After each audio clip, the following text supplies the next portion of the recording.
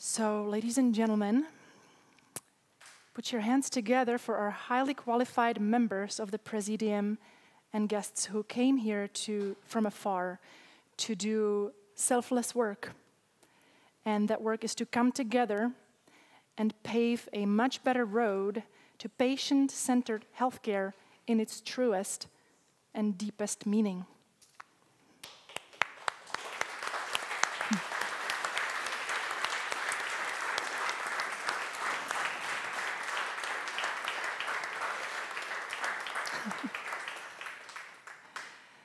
And with that said, I would like to begin our um, panel discussion.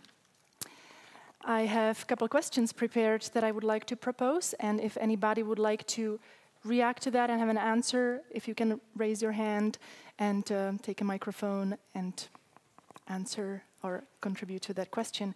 So, my question number one would be how can we, because this has been said from many of you, um, how can we bridge the gap between the traditional and complementary medicine and the conventional healthcare to ensure patient centered healthcare?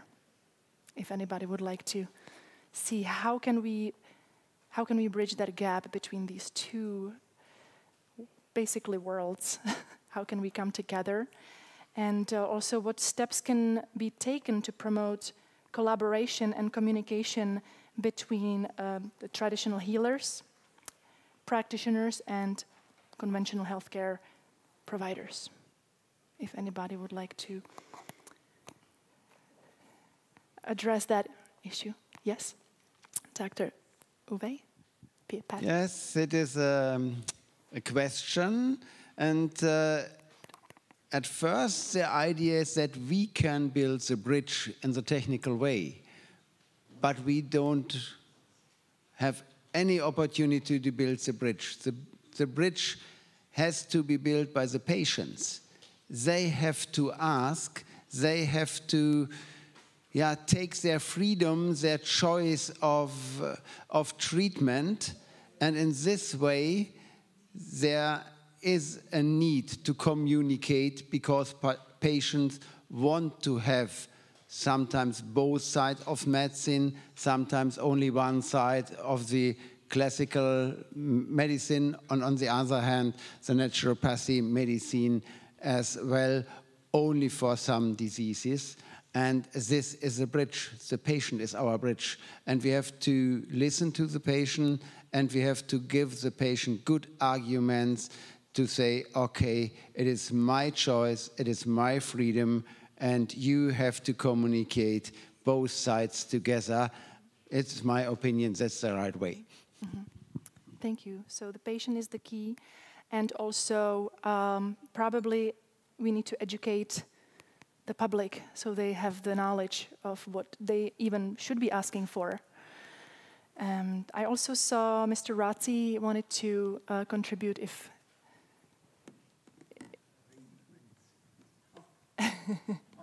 Yes. Bruno Renzi. Okay. No, I, I would like to take here um, an experience that I had from 2002 to 2012 uh, we created a psychosomatic center in a public hospital and university in Milano, that was the Hospital Sacco, in which we integrated for the first time in a public structure Ayurveda in the treatment of psychosomatics. So, one way is just to start and to promote this kind of initiative in public uh, institution and it was easy because uh, there is a part of preventive, preventive medicine that is one part of the, the Ayurveda that you can easily introduce in the treatment of, of your patient, also in public institution. And so this is a way. This is a way in which we can start and we, we, what we can promote just to introduce public in the public the structure, uh, non-conventional and traditional medicine. Okay. Thank you very much. Um, next was... Does it work? It is yeah. working. Mm -hmm. Just like to add what has already been said very rightly, I think in, in most countries in the world, Western countries, especially in Europe, the population is already wishing to have uh, alternative approaches other than just taking medicines and surgery. So the population is already wanting it, and yet it doesn't happen. So I think it's always a multimodality approach. Um, so we have to convince the established community, which is the modern medicine, uh, with their tools, that means scientific research, uh, to show that alternative approaches and traditional medicines, they do work and they have a scientific basis. If this happens, then we can more easily convince the established medical community to adopt uh, traditional medicines. So this is just some the other side of the coin. Mm-hmm. So basically, more research and proof that it is a valid, legitimate way of healing Yes, modality yes. that actually truly works. Okay, I think next was Dr. Bhaswati Bhattacharya. Thank you. This is a perfect uh, segue from what you said because I don't need these. Uh, because modern medicine is one uh, way that we always say they are the ones in power and they are the established power. But actually, it's not evidence that convinces people. It's never evidence. There's lots of evidence out there. And for anyone that thinks there is not good um, placebo controlled randomized clinical trials for TCIM, there are. There's lots of evidence in the data, in the published medical literature, in very good journals for acupuncture, for homeopathy, for many modalities. What we say is that it's all about BS. Now, I don't know if this will translate from English, but in English, BS is an acronym for bullshit. But it is also an acronym for belief systems. And it's really about our belief systems. It's not that I need to see it to believe it, it's that I need to believe it before I can see it. And if you don't believe that something is possible and the only way to see evidence is through pharmacology, um, then you will never be able to see any other kind of evidence. So, one of the things that I would like to propose to the answer to this question is that we look at the history of what has worked. If we read history, if we go to the people who really look at the history of science, we will see some things that maybe we were not educated in. When I was in my pharmacology training, I learned that pharmacology is the only way, the best way. And when I asked about non pharmaceutical herbal medicines that I had seen in Tibet or in China or India, they said that's all dirty medicine. It's not standardized. And I was taught to believe that unless it's standardized and clean and pure, it's not good for you. But pure does not mean 100% chemically one way. Pure means that which is compatible with the human body. And whether it's water or whether it's a particular herb, it's very important that we understand what is pure. So if we go back into the history of different kinds of medicine, we'll actually find patterns. So life is not a circle, life is a spiral. And in fact, the earth doesn't move around the sun in a circle, it moves around in a spiral. And if you don't understand that, go and watch anything in physics and go and read the Surya Siddhanta of the ancient um, Indian texts, and they will say that it's actually a spiral. So if you go and read history, you'll actually find there are a lot of people who are thinkers much before we have come, and that there are many, many truths about this healing and the way to actually bridge between the modern medical and the TCIM practitioners is to look at history where there's a lot of irrefutable objective truth in archaeology and astronomy and preserved elixirs like in the in Prague what we find in the tunnels. If we go to history and put that in the face of the people who are conventional medical, it might help serve a bridge that these things existed before and it's time for you to open your mind that maybe you were miseducated. And I'm saying you meaning me. I was so miseducated when I learned modern medicine. There's so much stuff that doesn't work that it's time for us to put that in the face of modern medicine so they can be allowed to see, not in a punitive way that we, they are wrong, but to see that there are other ways that historically were possible. Thank you. Thank you very much. So, um, history is important, belief system. And education. And uh, we also, uh, I also have uh, Mr. Verma on Zoom, and I would like to take an opportunity uh, for him to uh, contribute to these questions while um, we have a internet connection and he is he is with us. and then I will give space to the next.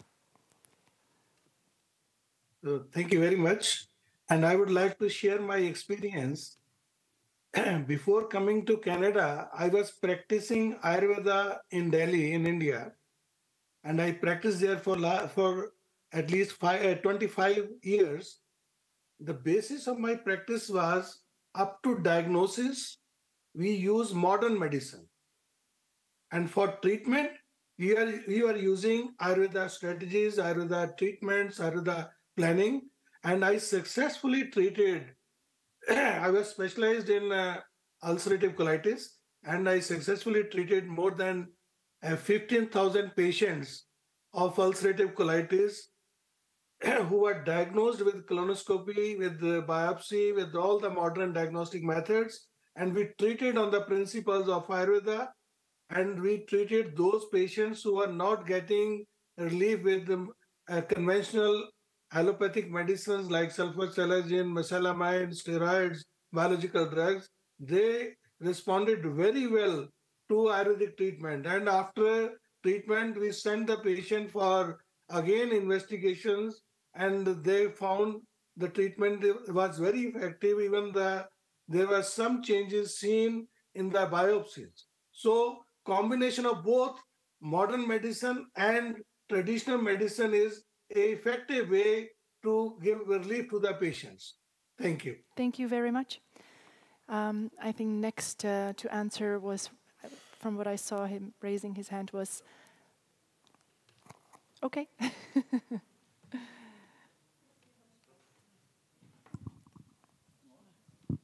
Isabel, thank you. Um, yeah, uh, the, the um, to establish this bridge, I think it's very important as well to showcase uh, the the solution because you have many uh, amazing initiatives in the world, but they are not uh, showcased, you know, specifically sometimes by the international community because they are focusing attention on only some very specific things. For example, myself, I have discovered recently an initiative uh, in uh, not just in Switzerland, worldwide. I've discovered worldwide. You have, I am sure you you are not aware about that. We have 40 living museums worldwide are existing, and these people uh, from voluntary base, voluntary contribution have decided to complement, you know, the failure of some psychiatric hospital. And uh, for example, in Switzerland, because you have quite um, high uh, universal health coverage system, because that is another issue. It is, you know, uh, to complement each other, to, to, to go beyond just the practice of medicine. What does it mean? What, what is the functioning of the full health systems, you know, to allow this bridge as well? That is a, is a key question, you know. Donc here in Switzerland, it's possible to have these people, you know, complement, for example, the lack of, uh, I will say, soft approach to the patient affected by mental health what they are doing, they open, in fact, a place where the patient, not just from the hospital, but from, for example, from the cities or the village, have depression. They come uh, free, free of charge because you know the assurance take in charge, you know, the the, um, the access in this place, and they can do the uh, perform the art they want. Donc they are not forced to do anything. They come, and if they feel, you know, uh, it is a time for them to perform sculpture or music or painting, and, and it's very beautiful. And I, um, I would like to invite everybody to visit one day this type of place. You, the, the, initiative have started in, in US, in New York, but who is aware about that? Who is aware? And the issue it is this access to the knowledge. No, it's not just the bridge. The bridge is existing already, but the people they cannot see it. You know, Look, we we have uh, one journalist with us, and uh, where are the, for example, media, uh, positive media today, to report about uh, positive initiative uh, delivered by people, you know, decide to to to to amplify creativity, imagination, innovation, and not just negative thought. That is really the question mark. Thank you. Thank you. Thank you very much. I, I agree with that. And um, we have, we don't have actual any time left. but um, I would like to still take the opportunity to hear what Nora Laubstein has to say to the Yeah. question. And For me, it's interesting when you want to build a bridge. What kind of bridge you're building? What's the riversides? Who want to build a bridge? Who is building the bridge? Who gives the money for the bridge? What uh, kind of material you use for your bridge? What's the conditions? Who should pass the bridge? Who is allowed to pass the bridge? Who will conquer the bridge? So these are the questions for me about a bridge. Not more, thank you.